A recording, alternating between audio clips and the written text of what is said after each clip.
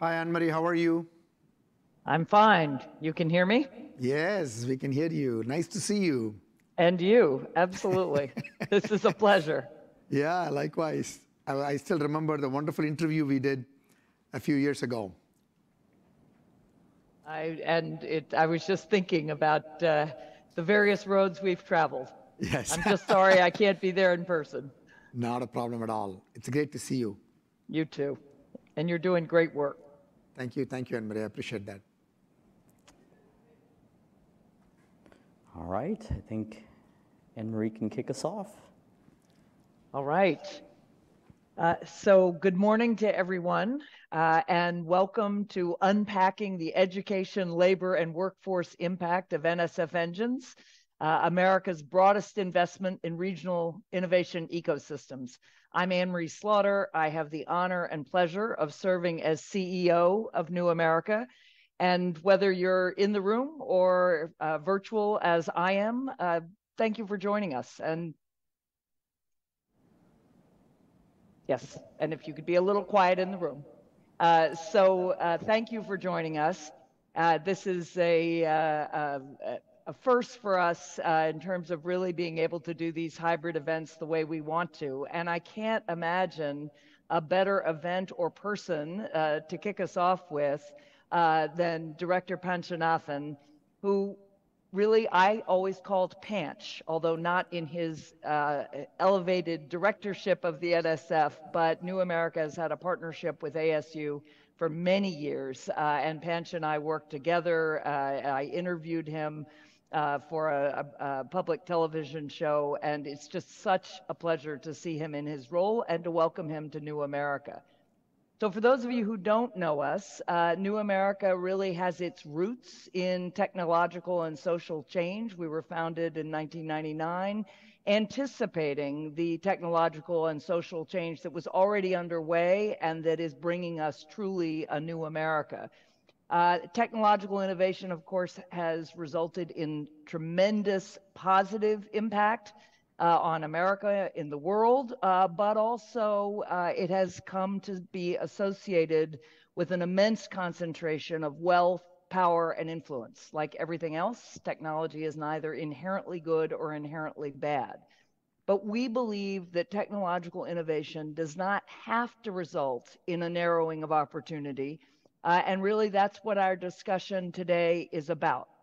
New America is really pioneering a new kind of think and action tank where a civic platform that connects a research institute, a solutions network, a media hub, and a public forum. And you're going to see elements of all of that uh, today.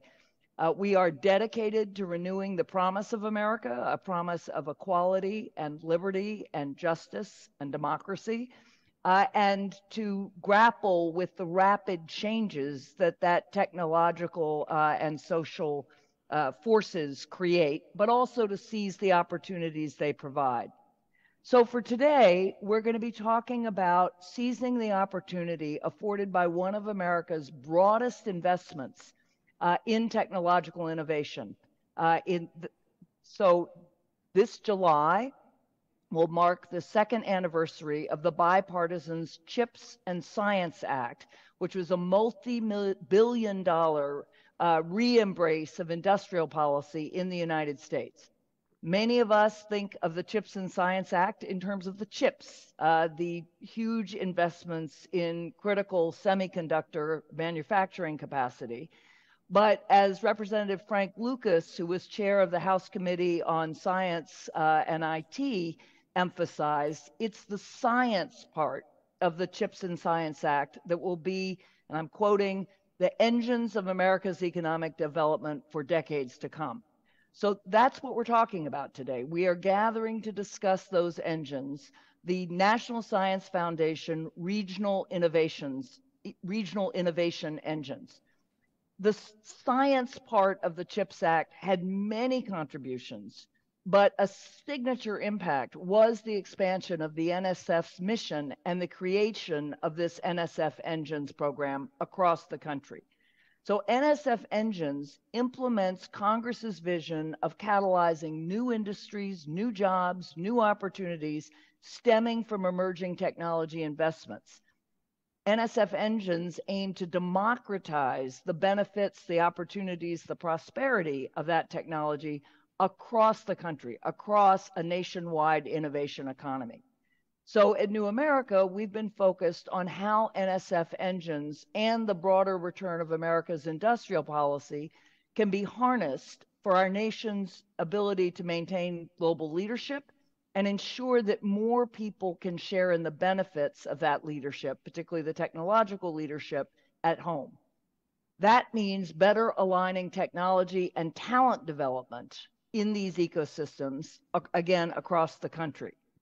So, concretely, to emphasize just how important education, workforce, and labor stakeholders are to making this work a success, Earlier this year, our own First Lady, Jill Biden, a community college professor, Dr. Biden, joined uh, NSF Director Panchanathan to announce the first NSF engines, not in Silicon Valley, not Boston, not New York City, where I'm sitting right now, but at Forsyth, Forsyth Tech Community College in North Carolina.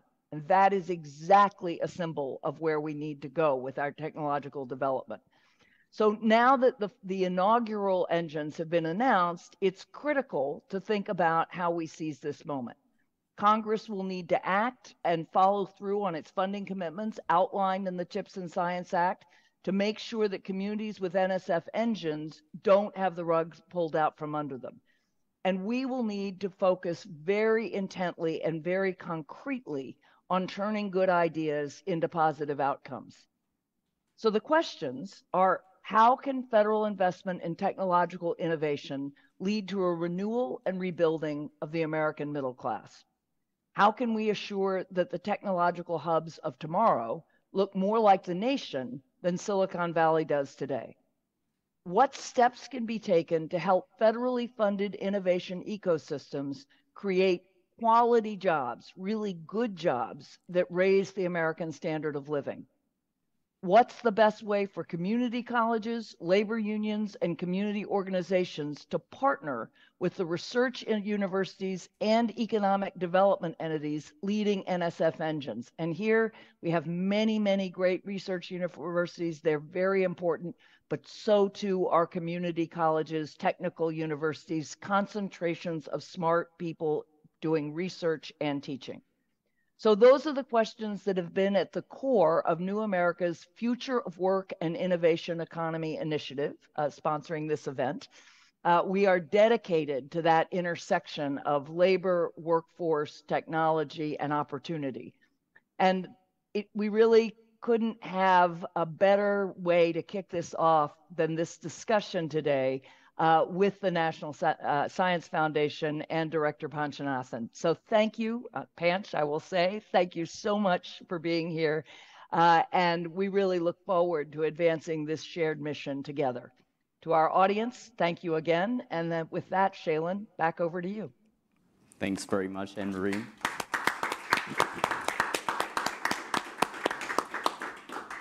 Thanks very much, Anne-Marie, and, and, thanks very much to all of you for being here. I, I Anne-Marie couldn't have said it um, any better. Um, we're delighted to be here with you today, uh, Dr. Panchanathan. My name is Shalin Jyotishi. I serve as Senior Advisor for Education, Labor, and the Future of Work here at New America. Uh, I head up our Future of Work and Innovation Economy program, and we are indeed very excited to be having this discussion in this very moment. Um, Folks, we only have an hour, so let's go ahead and dive right in. Um, I'll start with a brief introduction of Director Panchanathan, who probably for this audience needs no introduction, but I will give one anyway. Um, the Honorable Dr. Panchanathan is the 15th Director of the U.S. National Science Foundation. NSF is a $9 billion independent federal agency and the only government agency charged with advancing all fields of scientific discovery, technological innovation, and STEM education. His distinguished career includes serving as Executive Vice President of Arizona State University, go Sun Devils, uh, where he served on NSF's governing body, the National Science Board, for six years. the director has served in sector leadership roles for dozens of national and global entities, including the Association of Public and Land Grant Universities, where we first met. Um, Dr. Panchanathan, I'd be remiss if I didn't say your work inspired my own career in science and innovation policy. So it, it is an honor for us to have you here, but it's an honor for, for me to be having this discussion with you. Thank you. Um, and with that, let's dive right in. Um, Director Panchanathan, let's level set for the audience. We have science policy stakeholders here, but we also have communities from workforce development and labor and education. Um, maybe a two-part question building on Anne-Marie's remarks. Um, what is NSF Engines, and how do you see NSF Engines being harnessed to help rebuild the middle class in America? Uh, Shalin, uh, thank you so much for the kind introduction. And Anne-Marie has been a tremendous leader, and I've known her for many years through her work in many, many places. But New, what New America is doing is really stellar. And uh, we've really enjoyed watching that when I was at Arizona State, and continue to see the amazing things that you do. So thanks to New America. And to you, Shalin, um, it's nice to see you, you know, evolve through your career, and, and, and it's just, it's just a true delight. Um, to answer your question, so what I thought I will do is, for the, for the benefit of the audience, uh, before we dive into the regional innovation engines, let's talk about NSF because sometimes NSF becomes the best kept secret. Um, so the National Science Foundation, this will be, uh, we are entering the 75th year of NSF. It was founded in 1950. And the reason is all of what the founding is relates to what we are talking about today. The founding really clearly outlined the mission of NSF, the great Vannevar Bush, who then outlined this at that time to President um, Roosevelt, and in the creation of this entity called the National Science Foundation. And basically, it is about promoting the progress of science, of course, science, engineering, technology, and with the explicit purpose of advancing national health, prosperity, welfare, national security, and a whole host of other priorities. Now, when you look at the journey of NSF then over the last 75 years, what we are talking about in terms of regional innovation engines, I would say has been an implicit part of what I call as the DNA of NSF. The DNA of NSF, as I talk about NSF and what it has accomplished in the last 75 years, is got two strands, like any DNA does. The one strand is the curiosity-driven, discovery-based explorations. Now, nobody will ever question if there is a Nobel Prize announced in physics or chemistry or biology or even economics, that NSF has something to do with that. Yes, that's true, because NSF uh, has so far 262 Nobel laureates that we have funded early in their careers. No agency on planet Earth has got that kind of a track record. So it truly is an expression of this curiosity-driven, discovery-based explorations in, in its full form, Nobel Prize being one form of the expression of that success. Now, if you look at the other strand, which NSF is also known for, but not as well attributed to, is what I call the use-inspired, solutions-focused translations or innovations. Oftentimes, we think that that strand is done by something else or some other entity or, or, or, transfer, transferred to something else, and so on. Yes, some of that is true, but NSF itself has been a tremendous champion in terms of advancing these translational applied research activities. In fact, in 1980, we founded the engineering uh, directorate at that time, right? So we have evolved, NSF has evolved over the decades. And so if you look at the work of NSF, whether it's the engineering research centers, the industry university cooperative research centers, and yes, the small business innovation research and STTR was actually, SBIR was incubated by NSF in 1980s. Little is known about this. Now SBIR is a pretty common platform in many other agencies, but actually it was incubated by NSF in the 80s, right? So you, you can see the spirit of what we are going to be talking about today, much of today, was already embedded, and I would call it implicit, but expressing itself you know, in, in, in some form. And there are many, many success stories to point to that. And I will just take one or two examples, and then we'll jump into the engines question right away. If you look at two graduate students, Larry Page and Sergey Brin, in 1994 wrote a proposal. They were graduate research fellows funded by NSF, just to put it out there. And so was Eric Schmidt, the chairman of Google. There's another thing that people don't really, you know, uh, I call them tire tracks, assign the tire tracks back to people. one of the greatest things that uh, NSF unleashes is the amazing people. The greatest thing, I would argue. Okay? These folks are leaders in academia, of course, Nobel laureates, entrepreneurs, successful industry leaders, incubated the industries that you hear of today that have scaled. So NSF has had its tire tracks or imprints, or you can call it the DNA imprinted in all of these. Okay? So these two graduate students, when they wrote a proposal to NSF for the Digital Libraries Project, NSF funded it. Five years later, when they wrote the fi final report for the, for the project, they said we founded a company called Google a year earlier in 1998. And the rest is a trillion dollar history. Okay? Clearly, there is a lot of other things that happened to take it to that level. But NSF has some seed of that which it makes possible. And you could argue, therefore, thousands and thousands and thousands of companies all across our nation, Qualcomm, for example, was a SBIR funded project in the early 80s when Viterbi came and got an SBIR grant. It's hundreds of billions of dollars of company.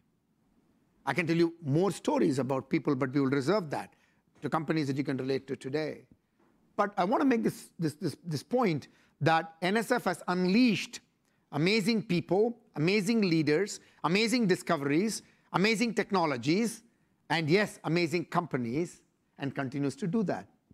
And therefore, when I came to NSF four years ago, we're getting close to the date, almost the date of me coming to NSF. I was very keen, having seen this in action, where when the community comes together with a great university, a research university, partnering with community colleges, partnering with other institutions, partnering with the city, partnering with the state, partnering with industry, partnering with venture capital, partnering with the innovation ecosystem writ large, amazing things can be done. Okay? Two, if you pick up what is akin to that place, place-based innovation, then you can build some successful ecosystems because of that. So this is something that saw, I saw firsthand and being part of that evolution and transformation, you could say that. So when I came to NSF and saw the Endless Frontier Act that was being put together, great leadership uh, by, by Senator Schumer and Senator Young, co-sponsoring that legislation with many others, and then evolving into the US Innovation Competitiveness Act called USICA, which then became the CHIPS and Science Act. Again, a great leadership by the Biden-Harris administration, President Biden's leadership, and the total bipartisan leadership of Congress. And getting this at this moment, which is a very important time for several purposes. Yes, economic security. Yes, national security. Yes, prosperity for everyone everywhere across our nation. So the CHIPS and Science Act was a landmark, is a landmark legislation. I'm so thrilled that it got done with a lot of appropriations for science, uh, sorry, for chips and, uh, and, authorizations for science. And of course, we are working on how do we get those authorizations to become appropriations because that's what will get the job done. And we are working hard and we need all your help and support. And we will see you, we'll tell you why it's important. Okay? So when I came to NSF, I was convinced that this was the time to amplify, to augment, to unleash this implicitness that was there at NSF already, some explicit, mostly implicit, this unbelievable energy that was there of taking these amazing scientific discoveries and technologies and then partnering with industry and economic development ecosystems, unleashing them. Why not do that at speed, at scale, and proliferating it all across the nation? So when I came to NSF, I wanted to make sure that we had, as part of this evolution of the agency and aligning with the, the CHIPS and Science, of course, as it was evolving itself, the launch of a new directorate called the Technology, Innovation, and Partnerships Directorate, the TIP Directorate. The TIP Directorate is the first new directorate of NSF in 31 years. This is the time, and there is reasons for doing it with, you know, with, with, with being very expeditious about it and scaling it fast. Okay. So among the many programs of the TIP Directorate, you could call the flagship is the Regional Innovation Engines. I'm just sort of diving down from NSF, history, to this new directorate, to the many programs. We can hopefully talk about a few of them also through the, through the discussion that we have here, through the Regional Innovation Engines. Why? Because when I came to NSF, the other thing that I was totally convinced, having come from a smaller state, is that that innovation can be anywhere and should be everywhere across our nation.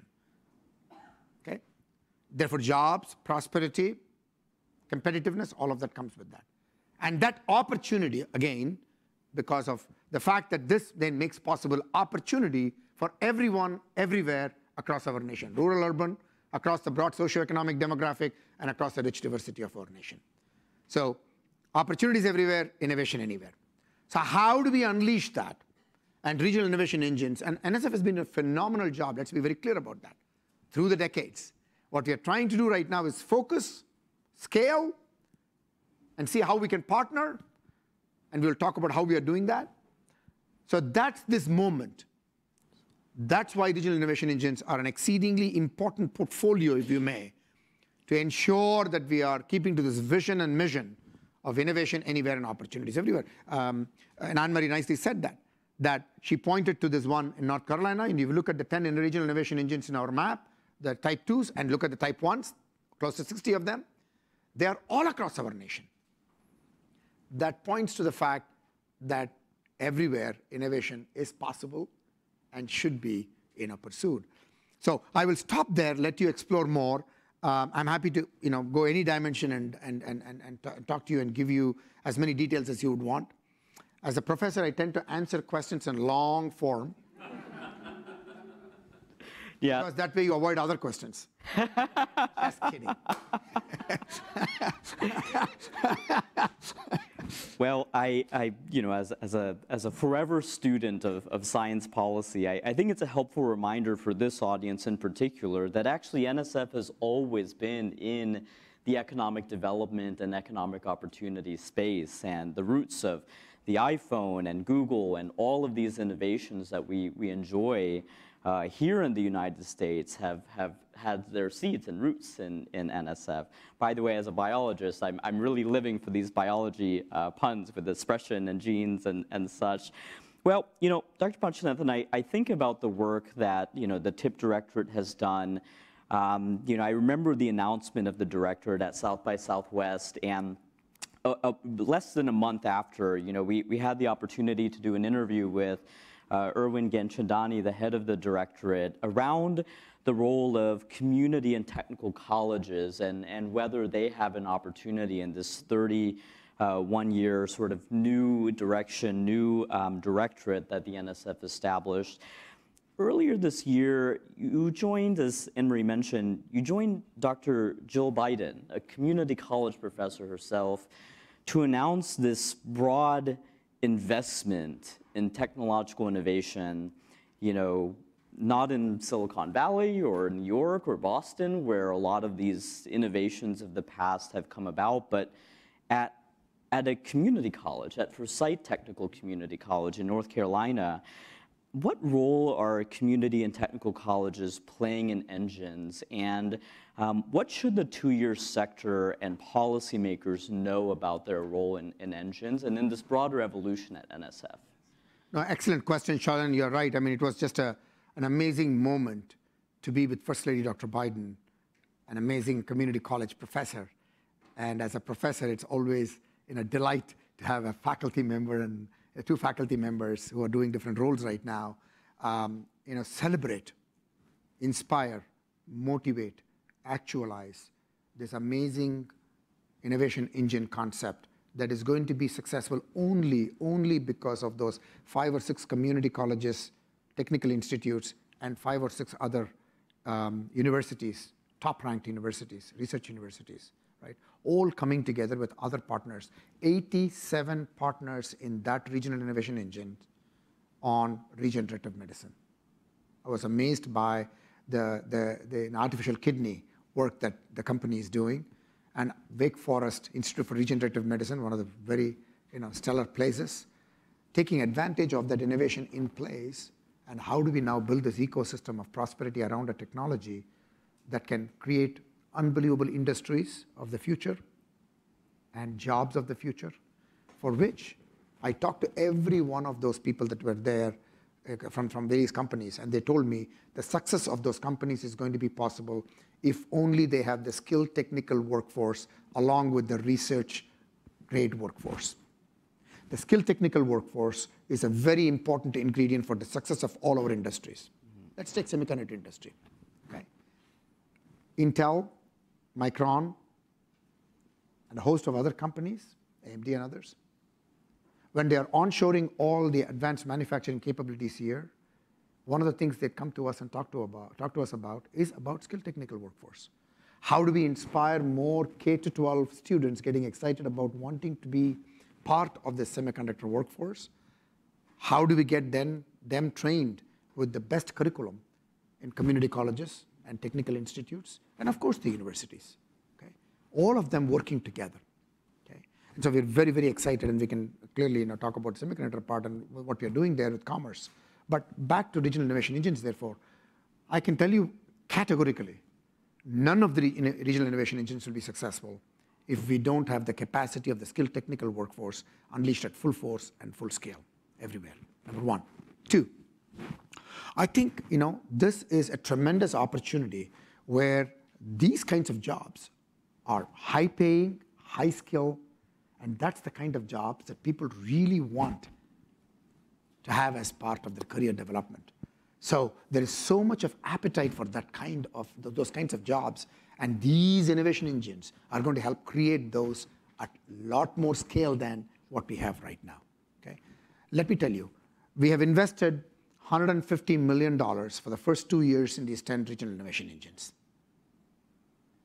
We have $350 million on top of that brought to these 10 innovation engines by our partners. What better success of ensuring that federal investments are bringing together collateral investments to ensure the success of these innovation engines, and most importantly, the sustainability and scalability of these innovation engines to actually create the innovation ecosystems into the future. $10 million is focused directly on community colleges building the skilled technical workforce. Let me tell you, in semiconductor, we have partnership with Intel, $10 million with them. With Micron, the same thing. Every company is interested in this. When I go around talking to quantum companies, they tell me, Panch, we need more skilled technical workforce for the success of quantum technology, the design, development, and deployment. So it is everywhere the need. So these regional innovation engines are going to essentially make that scale of skilled technical workforce happen everywhere. Okay. Now, how do we do that? Yes, regional innovation engines are going to help you know, build those skilled technical workforce. But let's not forget, NSF has had a program and continues to have a program called Advanced Technology Education. You should check it out, ATE program. Okay? This program, yes, there you go. So you know it's successful. Um, this program has been focused on development of curriculum around new technologies, emerging technologies, the needs of industry, and how do we then scale the technology and develop models that can then be you know, translated to other institutions and so on, and focused on community colleges, four-year colleges, and so on. So NSF has been at this job. But now what we're doing is we're putting a focus, as I keep saying, to scale, to speed, to contextualize, and to partner. So we're doing all of this at this moment through this envelope of what we call the regional innovation engines. Okay? And that's going to guarantee the unbelievable jobs and the prosperity and the industries of the future being successful. Absolutely, and you know, in our work at New America, with you know, in partnership with community colleges, we've we've seen the the reality on the ground. We, uh, you know, uh, I think of Central New Mexico Community College and their workforce partnership around quantum, and uh, Pima Community College around autonomous vehicles. You know, Miami-Dade around AI. So. Um, it's it's exciting for us in, in the workforce community to see NSF um, help scale out some of the, the successes of AT into these emerging tech sectors. And Dr. Panchanathan, you know, you mentioned, um, you know, creating these high quality jobs in the innovation economy. The Biden administration has emphasized worker power and, and revitalizing labor in really new and groundbreaking ways. We had acting labor Secretary uh, Julie Su here on this very mm-hmm. stage um, a couple of years ago talking about the work of her agency, especially on job quality and the Good Jobs Initiative. Um, what opportunities does NSF Engines create for labor unions, worker centers, worker organizations across the country to play maybe more of a role in innovation ecosystems and support the creation of you know, not just any jobs, but high quality jobs, yes. the kinds that people would want to work and sustain a family? Yes.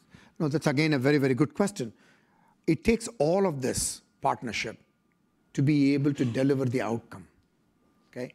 Clearly, labor unions, community colleges, research universities, companies, and we are increasingly bringing venture capital into this. Let's be very clear. The skilled technical workforce that we are talking about those experts are also going to be entrepreneurs. And so we need to make sure that every possible entrepreneurial mindset that is out there is given the opportunity to exercise that in full scale. So we are bringing all, that's why I call it the ecosystem. You know, typically, you know, NSF would be thought of as funding the research universities or a certain class of universities and maybe a few community colleges and so on and everything gets centered around that. Nothing wrong with that. Amazing things have happened and will continue to happen. But as I call it, that alone is not sufficient. We need to bring other kinds of ways in which we involve the research university, community colleges, and so on, but through partnership with the entire ecosystem coming together. And sometimes, instead of a push mechanism, it also is a pull mechanism. We have a program at NSF uh, called the Civic Innovation Challenge, where we flip the model where the community problems are funded to be solved so that they can draw from the university this, the expertise and strengths. Instead of university going to the community and solving problems, both are important. Both are important. So at NSF, we are ensuring that we are not missing out on the through partnerships, like the partnerships that you alluded to, through these partnerships, that we are making every possible strand of opportunity and therefore innovation and success. So this is something that we are working through all the regional innovation engines. Um, and you know, I'll tell you, um, we, are talking about type 2s right now. Type 2s are the ones that get $15 million of investment in the first two years.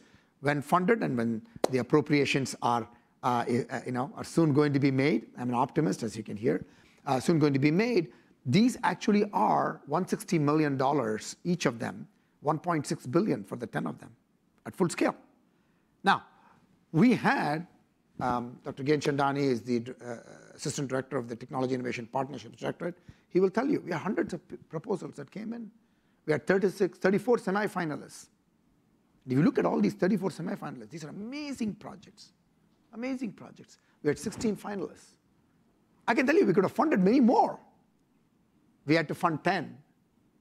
But we did something that does not stop the innovative potential of the others.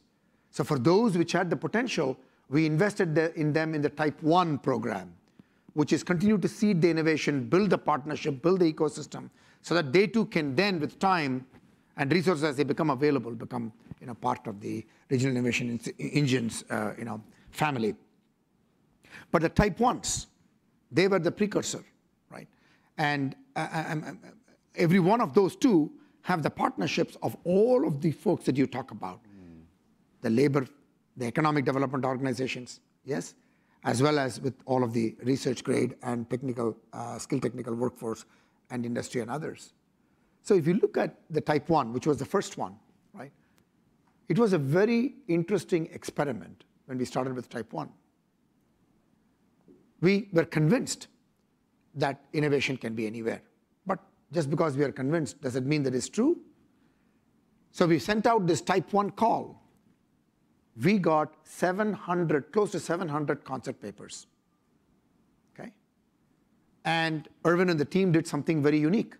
They publicized these 700 concept papers mm. so that people can see what each other is doing, which is, which is unusual in NSF. When somebody submits an idea, you just hold it like this. But this was a different model. You can see NSF is trying different models.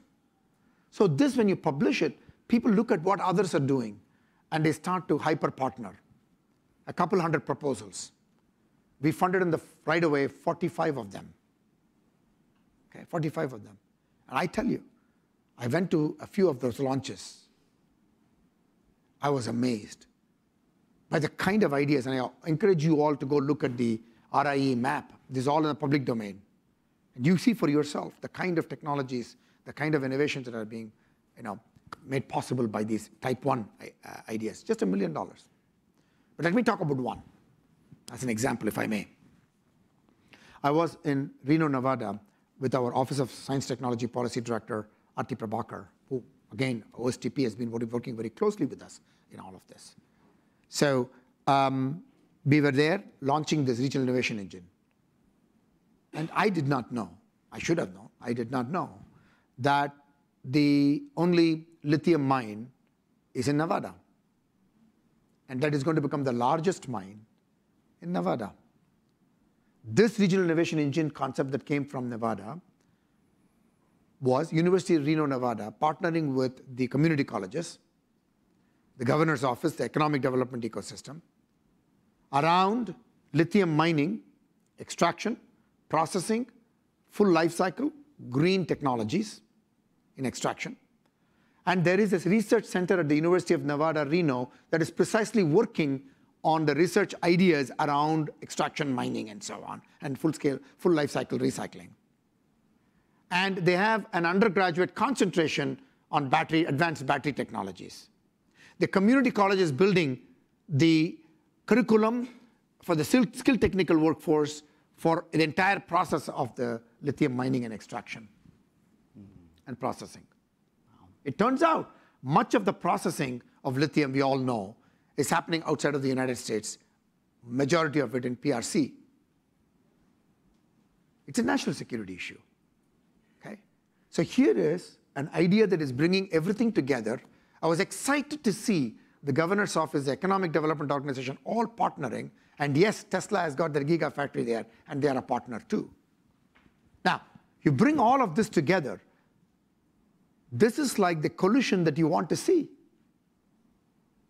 And out of that will come unbelievable innovation, unbelievable industries.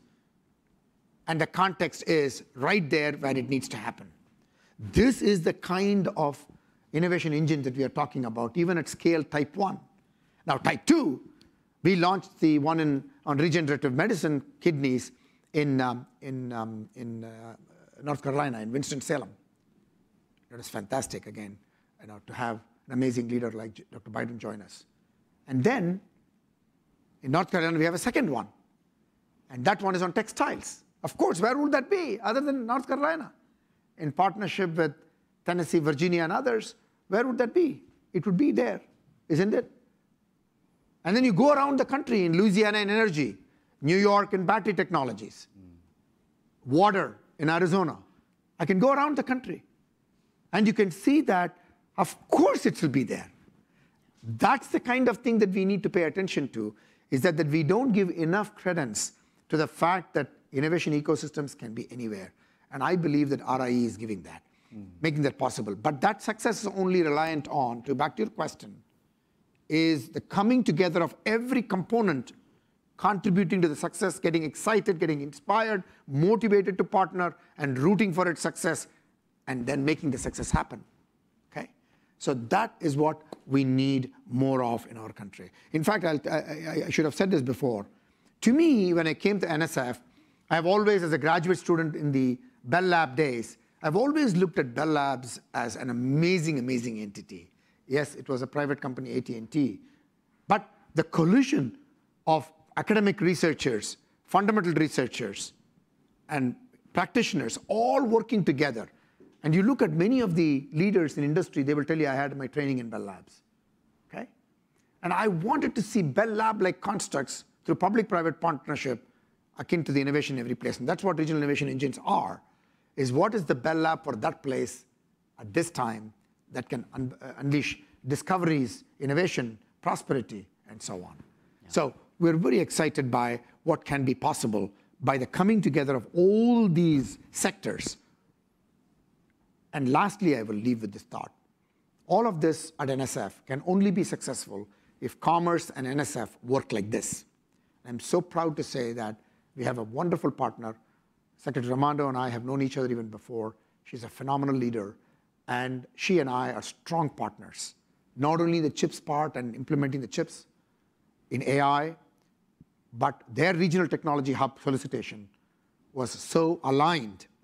And Erwin and the team worked with them so that RIE and RT, regional technology hubs, are working like that. So that when RIEs, as they scale, that they also become further scalable through RTH and other investments. So it takes all of this. This is the time, and we have to make this happen.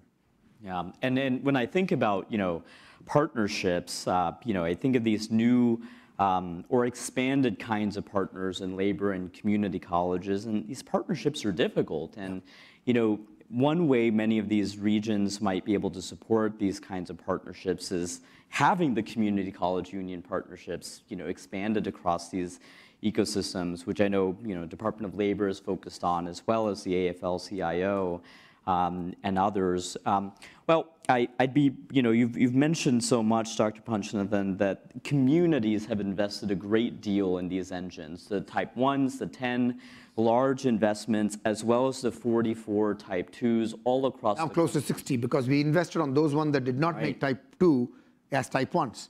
So we scaled it, 59 or 60 of them, plus this 40, uh, 10 of them. Yeah, yeah, absolutely. You know, there are a lot of communities, a lot of states putting substantial resources and bets on these innovation ecosystems. Um, you know, you referenced this, and Anne Marie referenced it in, in her remarks. Um, uh, unfortunately, Congress has not followed through um, on the budget targets it laid out in the CHIPS and Science Act, especially the, the science part of the CHIPS and Science Act. And you know, the last appropriation cycle, you know, several science agencies, including NSF, took a budget cut mm-hmm. uh, rather than following the budget increases laid out. Um, there's so much potential here for, for education, for workforce, for job creation, for economic mobility. Mm-hmm. What's going to happen to these communities with engines in light of these cuts? What do, what do these cuts mean for communities? I told you I'm an optimist. So you're only going to really hear an optimist point of view. And I believe that our nation requires more optimism. Yes, we should be realistic, more optimism. Um, let me tell you, we talked about the strong support of the Biden-Harris administration. Okay, I have I walked the halls of the Hill. I was there yesterday. Uh, you know, I was there several times in the last few weeks. There is strong bipartisan support for science, for technology, for innovation. Okay? Let's not kid ourselves. There's strong bipartisan support. But how do we now take that support and now translate it into investments in where we are trying to see how to manage the overall fiscal okay, uh, realities?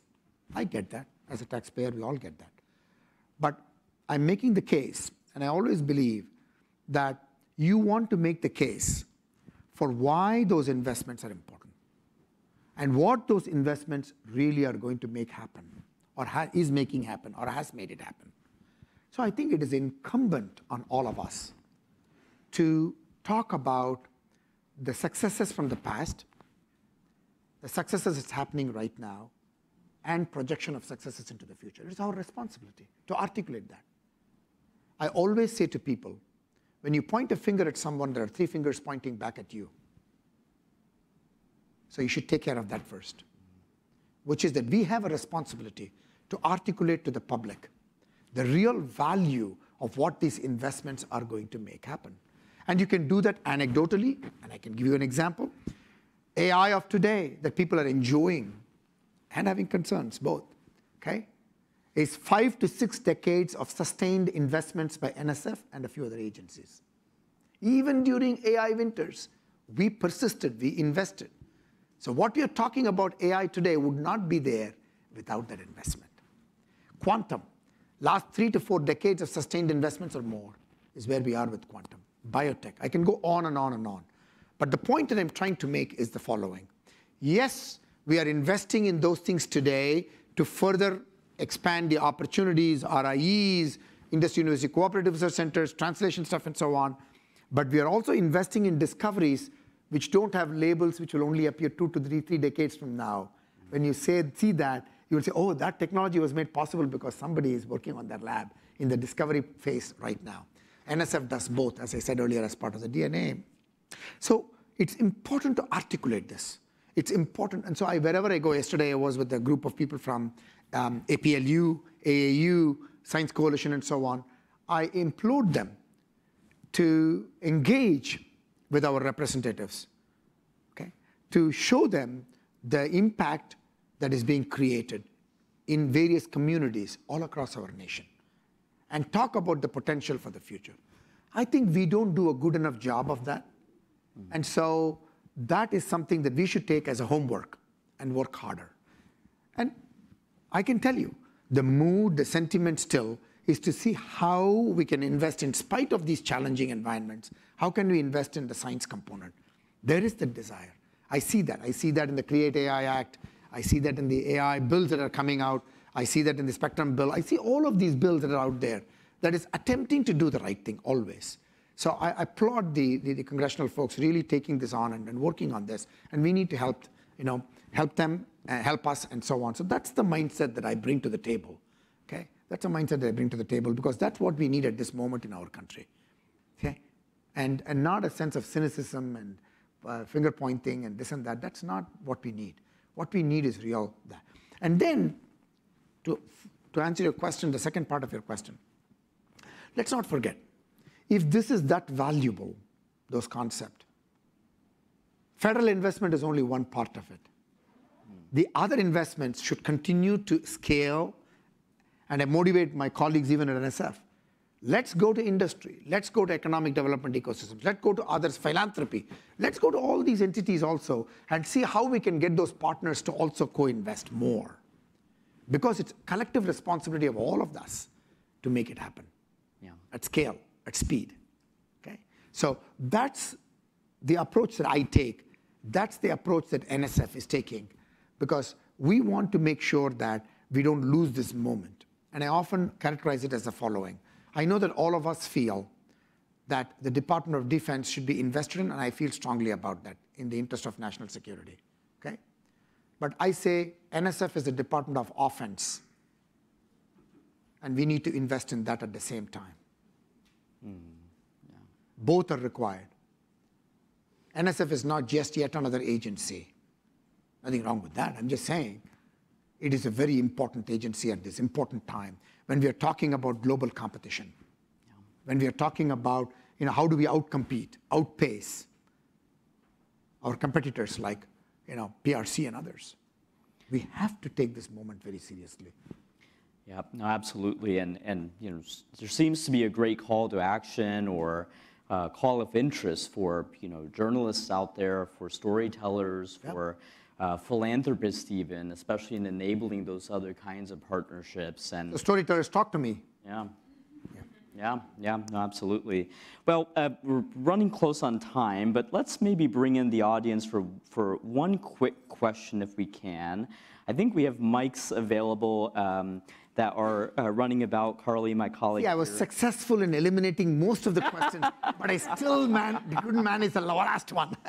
Just kidding. Do we have any questions? Looks like we have one here. Yes.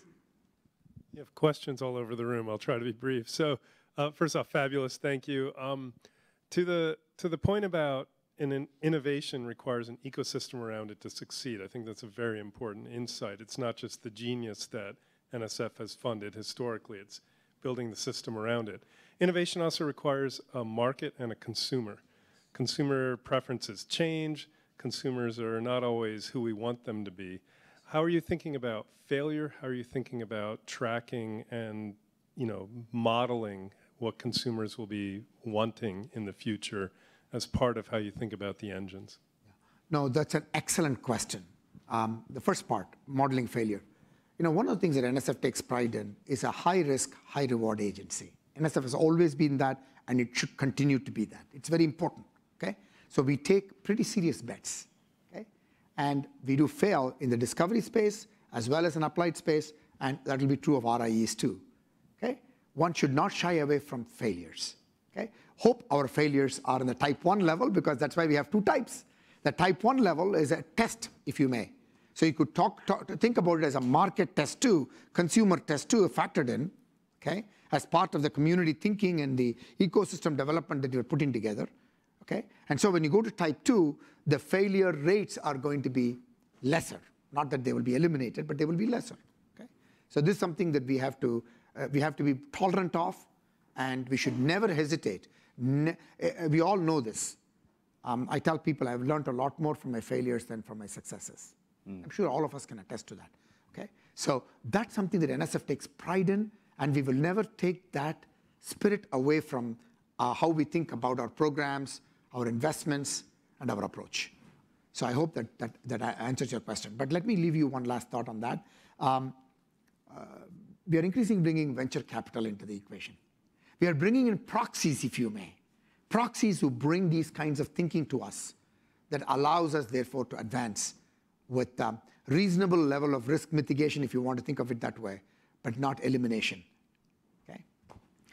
Yep, no, that's fantastic. Um, looks like we're running short on time, so. Oh, she has My gosh. Oh, She has a w- well, we have to get one on, more we have to. question She in. has Thank you, been- Shalin, for the invitation. This was outstanding.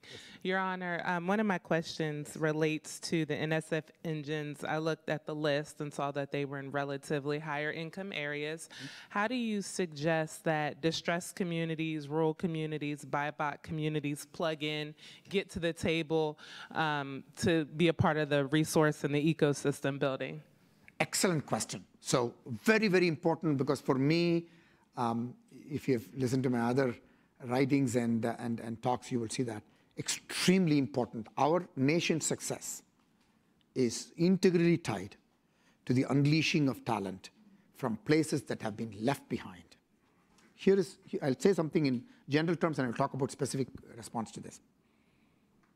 We are a 330 plus million, 340 million people. We need every ounce of domestic talent unleashed. We need to welcome every ounce and retain of global talent and assimilate them. Why? Because if our competitors are 1.4 billion in population, that's how you make progress. Okay? Leaving any talent behind is unacceptable. And then I say this also. For far too long, this is my observation, for far too long, we have substituted domestic talent with global talent as a nation. It is an unacceptable future for any nation. We have to ensure that we have to have the domestic talent augmented, not substituted, with global talent. Listen, I was a global talent who came to this country. Okay? I am so grateful for the opportunities that was given to me, and I feel compelled to serve, compelled to serve every day. Okay? So now to how we are doing this. So not only, if you look at the 10, nine of the 10 regional innovation engines, have strong partnership with historically black colleges and universities, Hispanic serving institutions, and tribal colleges. And so are the other type 1 engines. Okay? Next, we are also investing in regional development, engine development awards, not development, the, the sort of training to build innovation engines awards. And these are targeting areas and segments of population which have been left behind, particularly rural areas, BIPOC communities, and so on. So at NSF, through various programs, I won't have time to uh, tell you all the programs, we are insanely focused on ensuring that we don't leave people behind. That would not be a good solution, that would not be an acceptable solution, and that would be a disservice that we do for to our nation. I hope that I have been strong enough. Okay. Super important, super important question and, and response to. Um, well, folks, now we really are nearing time. So I'd like to invite Mary Alice McCarthy, our Senior Director for Education and Labor on stage. We're going to have some closing comments. Um, so Mary Alice will take stage. Gosh, I could go on and on and on the whole day, the whole week.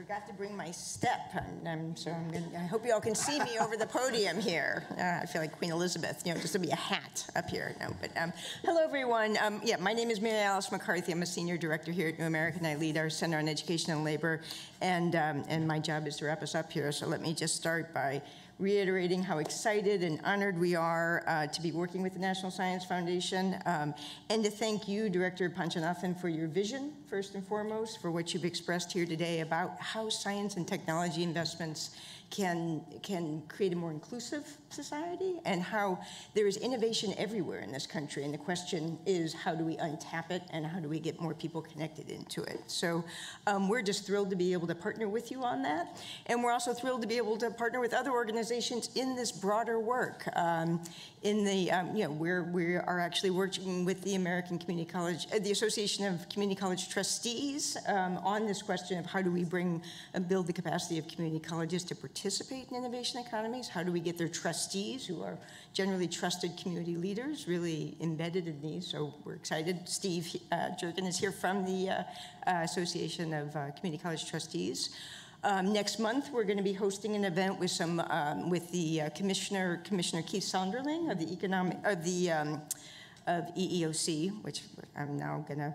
Um, if I don't look down, I will say it wrong. The Equal Opportunity, um, uh, the Equal Employment Opportunity Commission, and also with uh, Kay Firth Butterfield, the former uh, head of AI at the World Economic Forum and now a New America Fellow, working with with Shalin, and two labor leaders from the Writers Guild of America and SEIU on this question of what is the role of workers and worker organizations in both developing technologies and in deploying technologies, right? So again, we're excited to be working with you on that and, and relaying that information back and be in partnership with you on that, that important conversation.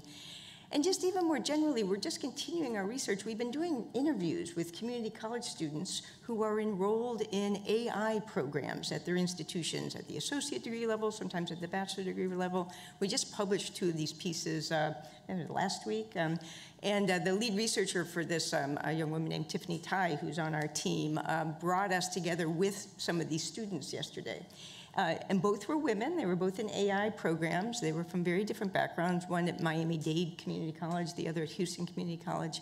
And I just have to say, it just it was a real light bulb moment for many of us of what it means to have very different voices and different people at the table talking about AI, talking about technology, what they see as the really exciting things about it, and what they're scared of, and, and what it means to have them at the table developing it. So this vision is just so exciting, and watching the National Science Foundation and the administration and Congress execute on it is something we really want to lean into as hard as we can. So thank you very much. Thank you to Shannon. Thank you to you, Director. And also a big shout out and thank you to our communications and events team who put on this, this very successful event today. So we've got some snacks in the back. Please, um, the room is yours. You're welcome to, to stick around and, and chat with one another. And thanks to everyone. Thank you. Thank you. You're a fantastic. Thank you so much. Really, really.